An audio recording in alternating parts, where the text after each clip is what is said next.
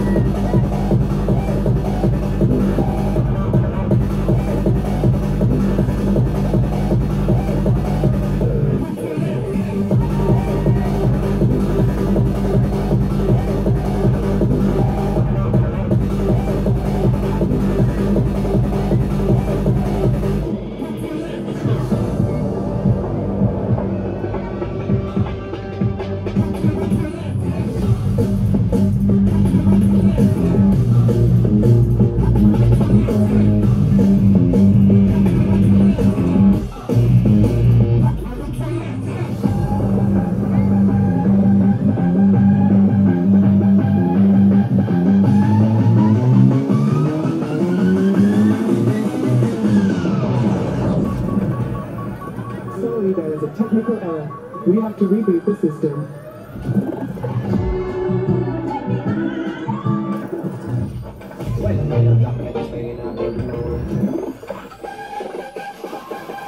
The system is now rebooted.